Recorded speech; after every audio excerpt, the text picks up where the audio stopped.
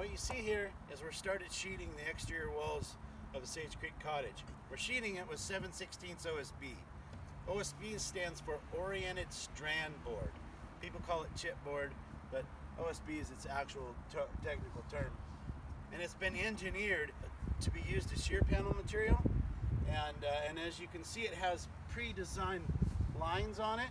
Those lines help us understand where the studs are and they're laid out at a 16 32 48 or 0 24 48 pattern so that uh, when they're installed on the framing it really tells you where the studs are and you can get good solid nailing through the sheeting into the stud. That's what creates a solid shear panel.